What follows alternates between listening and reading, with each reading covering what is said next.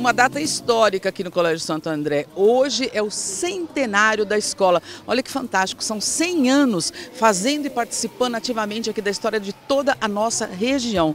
E eu estou ao lado aqui da irmã Maria Braão, que é a superiora provençal das Irmãs do Santo André no Brasil. Muito bem-vinda e parabéns por essa conquista que é nossa, né? Muito obrigada, Malu. A gente fica muito agradecido e muito alegre por celebrar todos juntos esse centenário com os colaboradores, com todas as pessoas dessa cidade que valorizam, que acreditam, que confiam na educação que elas recebem aqui. E a nossa alegria também é saber que esses 100 anos fazem parte de oito séculos, quase oito séculos de história da congregação das uhum. irmãs de Santo André no Brasil, né? É, 100 anos no Brasil, 800 anos de uma história maior. Então é uma alegria para nós poder celebrar esse momento. Quando as irmãs vieram, elas não vieram direto para São José do Rio Preto, né? Pararam primeiro em Jabuticabal. Elas é, pararam em Jabuticabal, elas tinham sido convidadas, né, para vir ao Brasil, para ajudar na formação de uhum. meninas, uhum. para formar realmente meninas, então fazer um colégio, fundar um colégio em Jabuticabal. E depois de Jabuticabal, nós vemos que isso cresceu, floresceu, chegou aqui em Rio Preto em 1920. Então essas irmãs foram muito corajosas, ousadas, e com um uhum, espírito com e com um espírito muito empreendedor e digamos à frente mesmo da época, época onde a mulher não tinha todo esse protagonismo que tem hoje. E aí a escola foi só para meninas por um bom tempo e hoje é uma escola mista e todo mundo tem direito a essa educação. Exatamente. E isso é uma das características da congregação, a gente percebe, né? Porque a congregação procura estar atenta à evolução dos tempos, dos lugares. Então a escola se tornou mista, uhum. a escola é uma escola plural, apesar de ser é, confessional, católica, ela acolhe nessa pluralidade todas as pessoas, né, de todas as é, tendências religiosas.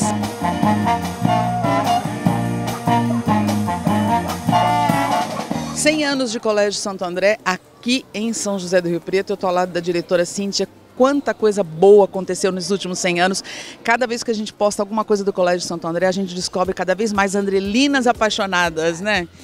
É, a escola com 100 anos, imagina quantas gerações uhum. e quantas pessoas passaram por aqui, né? Para a gente é um motivo de muita alegria saber que esse colégio se firmou na nossa cidade e que foi responsável pela formação de muitos, muita gente, muita gente de né? toda a região, né? Exatamente. Isso é a grande força de, desse colégio, ter promovido e promove até hoje a educação e a formação de pessoas com valores humanos, com uma consciência crítica da sociedade, não é? Sempre com muita modernidade também. Né? Exato, né? uma escola que não para no tempo, uhum. né?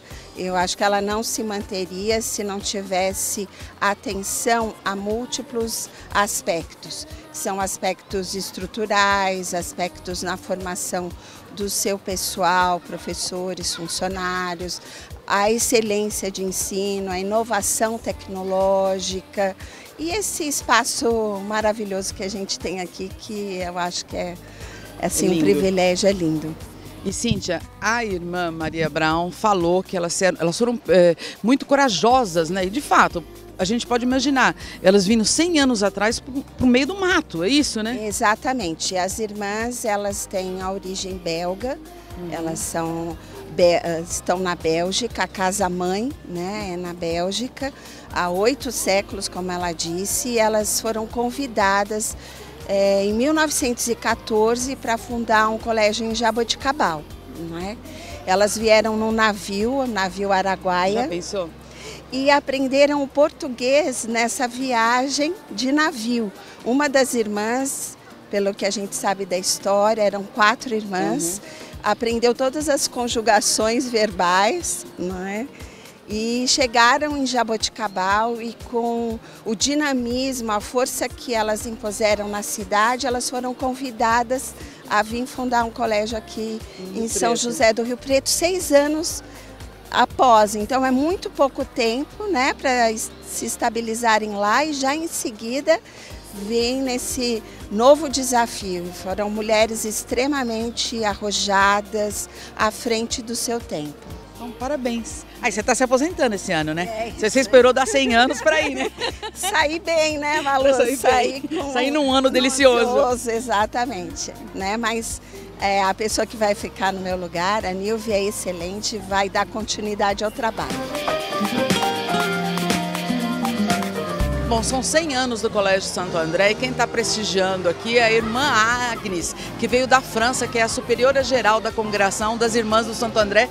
Seja muito bem-vinda, sei que você já esteve aqui outras vezes, mas hoje uma data tão importante, não, irmã? Obrigada. Primeiro eu quero dizer que eu não venho da França, mas da Bélgica. Não, estou francesa, isso é verdade, mas em realidade eu moro na Bélgica, onde está a casa mãe, porque a congregação nasceu na Bélgica faz muito tempo, quase oito séculos já. Continua forte, oito séculos depois, vocês continuam trabalhando? Ah, continua forte, depende do que você acha, o que é forte. Para nós, ser forte é, é ser enraizadas na fé, na fé em Deus e que sejamos assim, seis. Nós ficamos no início da nossa história, nós ficamos seis irmãs durante quatro séculos. Mas Deus, a fidelidade de Deus nos acompanhou e ser forte não significa unicamente ser muitos, mas ter a capacidade de, de formar e de trabalhar com muitos.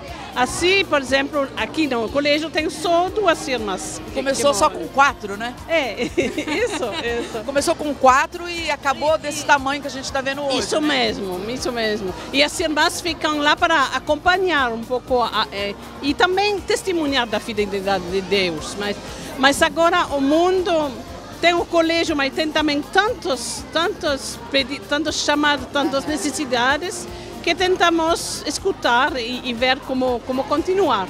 Mas podemos confiar em todos os que já sabem da, da, nossa história, da nossa espiritualidade e que vão continuar o caminho. A vocação de vocês mais forte é a educação? Como dizer, educação me parece ser um meio, não, não é uma vocação. A vocação é, é ajudar a, a, para crescer crescer humanamente, crescer na, na, no conhecimento, crescer espiritualmente.